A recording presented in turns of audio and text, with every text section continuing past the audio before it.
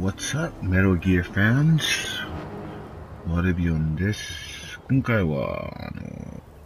なんか、最近、最近っていうか、昨日からログインできなくて、うん、ちょっとね、今日もログインできなくて、うまく。それで、あの、き一昨日かな？あの、麻酔砂の練習のためにちょっと、夜、ちょっと、あのね、ブラサイダッシュの部屋入ってみたやつですね、これは。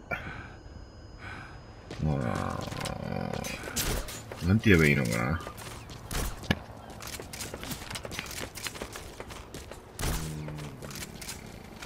あんまりね、最近、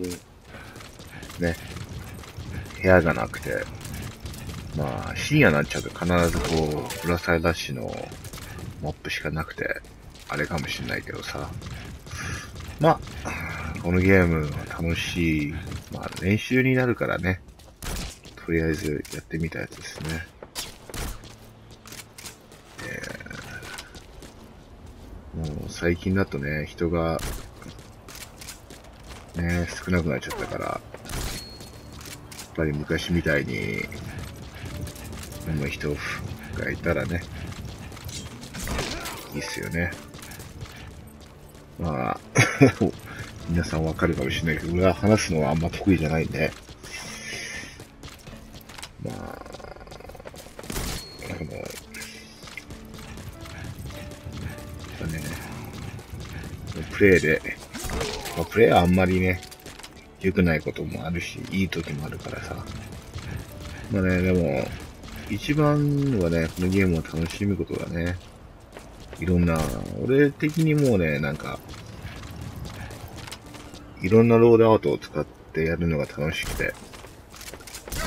あのー、麻酔砂だったり、セミ砂だったり、タイプスだったり、まあ、盾も使うし、マシンガンでも何でも使って楽しむことはね、もう、まあ、セレクトマッチはね、いろんなロードアートを使って楽しむことが一番なのかなと思っちゃいますね。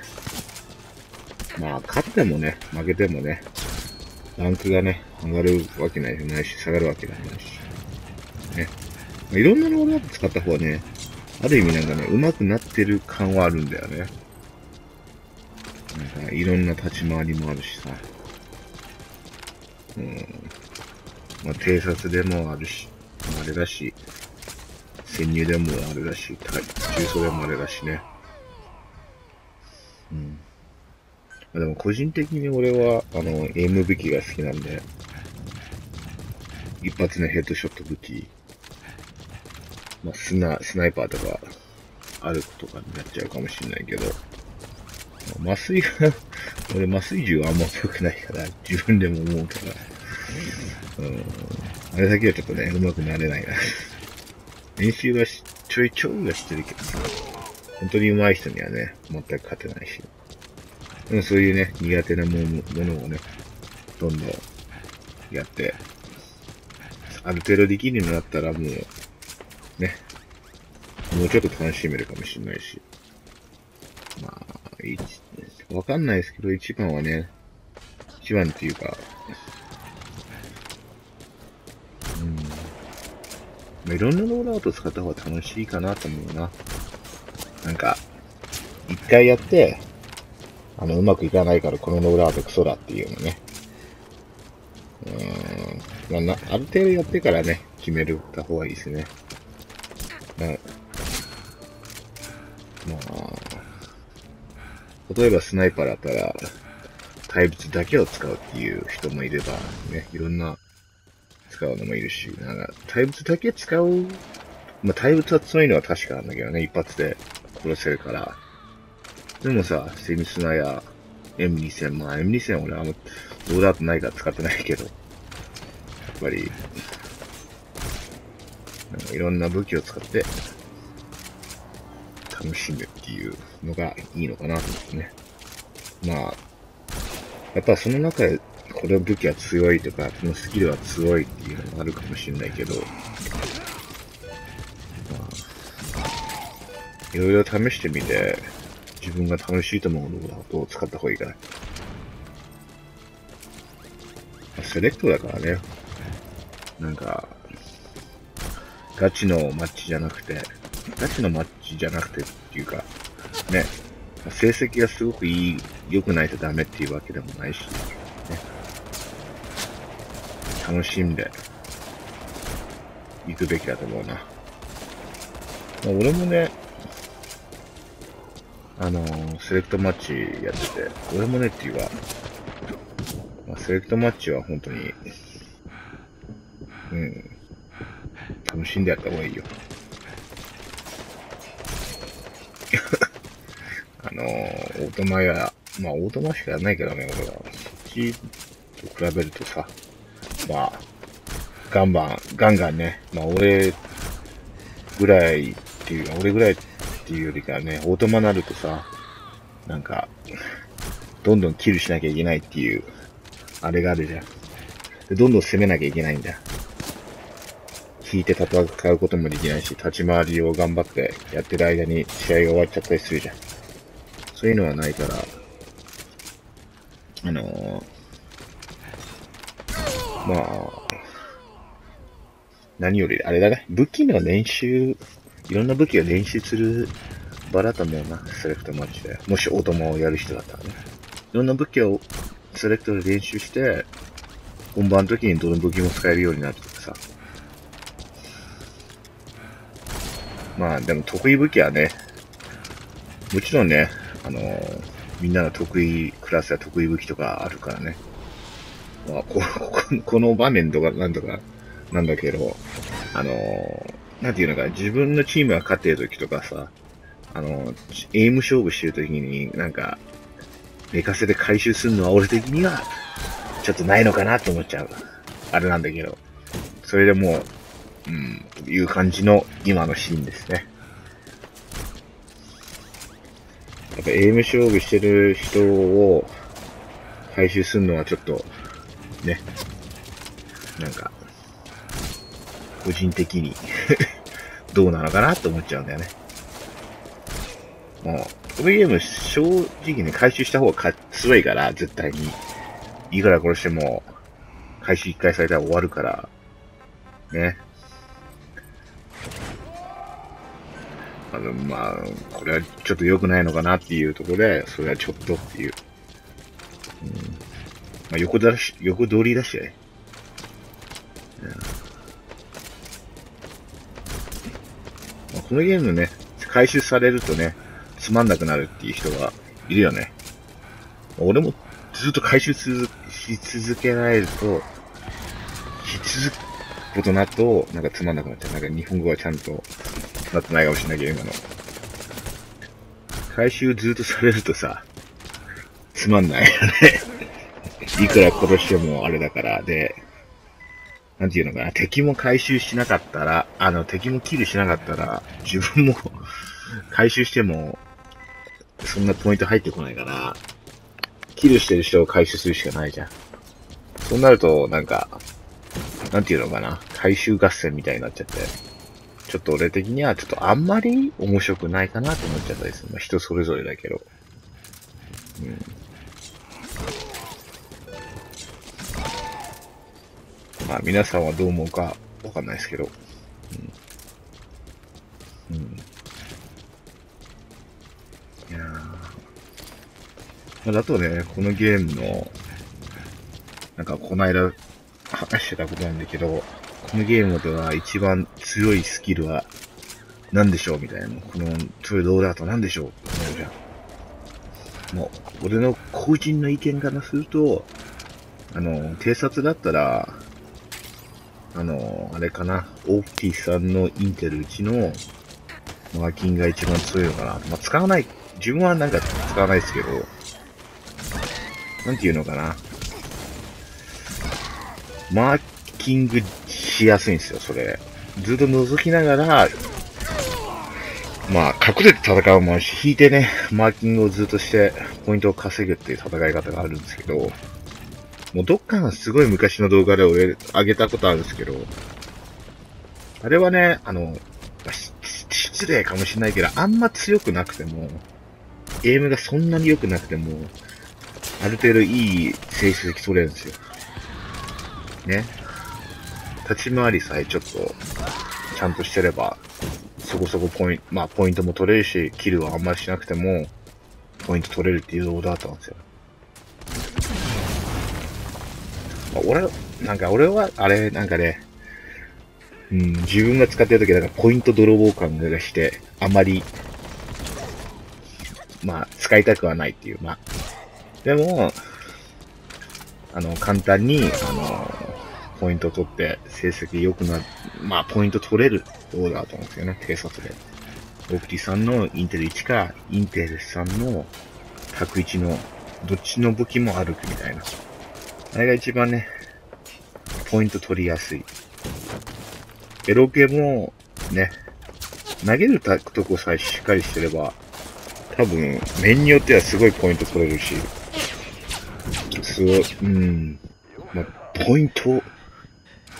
ポイントウハウハ、あと仲間もマーキングで助かったりするっていうロードアウトですね。その二つが、警察で一番強いのかなと思うな、俺は。まあ、どっちも使わないですけどね。なんか、個人的にマーキング、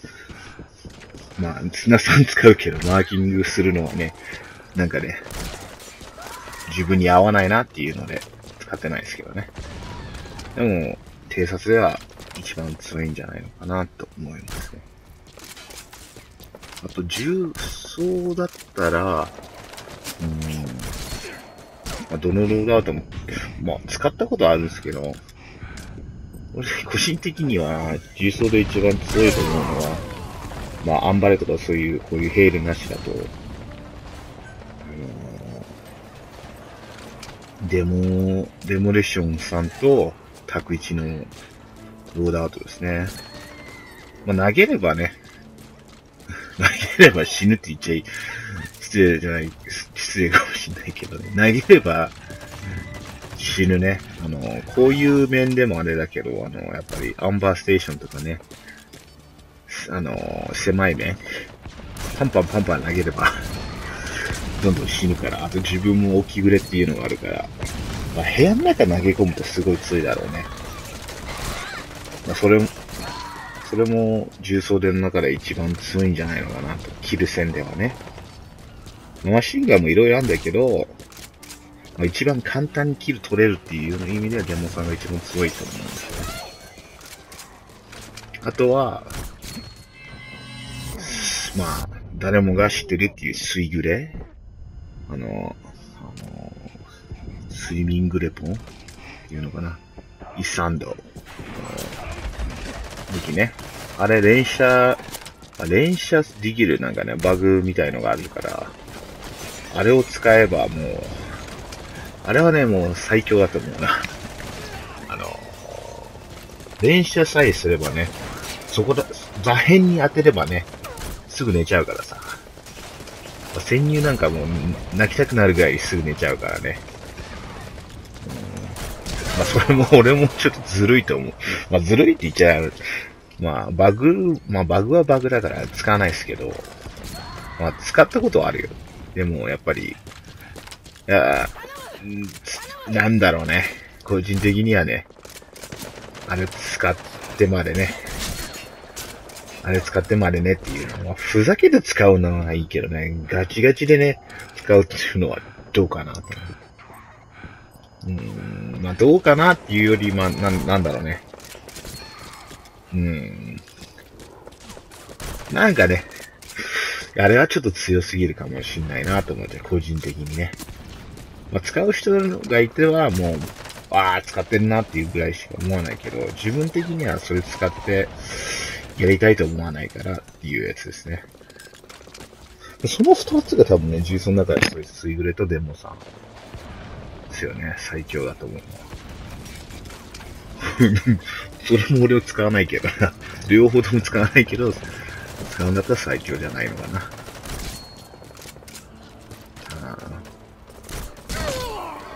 潜入だったら、個人的に何が一番強いんだ潜入もある程度使った時期もあったし、うん。俺の、俺の結果上、ステルス2の、あの、リーサル2が一番強いのかなと思っちゃうんですよね。その理由としては、あの、あの、リーサル2で構えが速くなるし、サブウェポンもサブマシンガン付けられて、どんどんどんどん攻めて殺せるんですよね。構え速くなるのと、もともと速いのに構えがもう本当瞬時なんですよね。あの、潜入は。もともと構えが速いのに、リーサル2でさらに速くなって、サブマシンガンも持てて、ガンガン攻めるっていう、あと、ステルス2でもエイムアシストに頼ってる人には効くし、まず見えない人は、もう、ステルス見えない人はもう3年。俺もそんなに見えてる方じゃないから、もうすぐやられちゃうし、おまけに構えが早いし、ずっとなんだっけ、アサルトが切れてもサブマシンカーに切り替えて撃ち殺せるっていうのもあるから、ある程度立ち回りがしっかりすれば、あの、それが一番強いと思う。まあ、キルする分にはね。で、ステルスさんのリサビキも、俺は使うけど、あれは結構ね、なんかマーキングされるのが嫌だから、俺、潜入使ってる時に、あのマーキングされるとすぐ死ぬじゃないですか、潜入。まあ、構えが早いっていうのもあるけど、結局マーキングされると潜入はすぐ死ぬから、あの、ステルスさんだとちょっとマーキング時間とかエロ系に対する、あれがあるからさ、あれっていうか、マーキングすぐされないから、ステルスさんと。動きがちょっと早いし、まあ俺はアサルトと麻酔銃を使ってるんですけど、ステルスだと。それのどちらかが、まあキル戦だったらやっぱり、あの、そのさっき言ったリーサル2のステルス2が一番強いと思うな。それロードアートにいないんだけどね、俺。全部ね、こうやって強いって言ってんだけど、どれも使って、まあ、ステルス、どれも使ってないな。でもそれが一番キル取りやすいんじゃないのかなと思うな。あのー、回収面では、あのー、俺は潜入で回収メインのローダートはないから、まあ、尋問とかあるから、まあ、これ、まあ、潜入の場合はキルでだけの話で、あの、あれだしい。あと、潜入は、あの、スタグレ投げた時の、あの、肩が弱いじゃないですか。あれがね、逆にね、スタン取りやすいんですよね。肩の弱い分、なんか、スタグレと相性がいいんだよね。あの、爆発する感じの 破裂する感じっていうのかな。スタン取りやすいですよね。潜入使った時のスタグレは、重曹と違ってスタン取りやすいですね。あの、デモさんじゃない限りね、スタグレも。だから、まあ、最強といえば最強ですね。あの、スタグレ。スタグレ強いよ、このゲーム。何よりやられた人はスタンバグになるっていう可能性もあるし、まあ仲間もなる可能性あるけどね。まあ最悪なのは、偵察でスタンバグになった時に、もう直せないっていう。まあ、スタンバグになった時ってピーってなっちゃうじゃないですか。それで、あの、音が聞こえなくて、足音が聞こえないっていうか、うん。その分ね、結構ね、俺的にすごい不利になる感じですね。うんだからね ぜひ、偵察にも、タンバグ直すためのスタグレが欲しかったかなっていうのはあるかな。できればまあ、できないことなんだけどね。うん、まあ、それが一番、なんだ今のに紹介したい各クラスで一番強いと思うスキルはそれかな。まあ、グレポンとか、なしでね、グレポンティがアンダーバレルなし、アンダーバレルは使ったことは何回かあるけど、おふざけで。強いのかって言ったら、もう俺は使い方が下手だから、強い、強いかわかんないけど、もしアンバレル使うんだったら、偵察のオピーが強いんじゃないのかなと思うんだよ。理由としてはね、あの、こう、パーンと吹っ飛ばした後で、あの、爆風っていうか、あの、あ、そうだね、爆風。これ、これ、これで砂煙っていうの、見えないんですよ。見えないから、あの、うん、オプティつけたら、それが、吹っ飛ばした後にまだ見えるから、キルを取りやすいんじゃないのかなっていうね。オプティ、アンバレが一番強いんじゃないのまあ、使ったことないんだけどね。個人的にそういう感じがします。はい、で、こんな感じで終わりますね。まあ、俺の話つまんなかったかもしれないけど、ありがとうございました。Uh, thank you very much.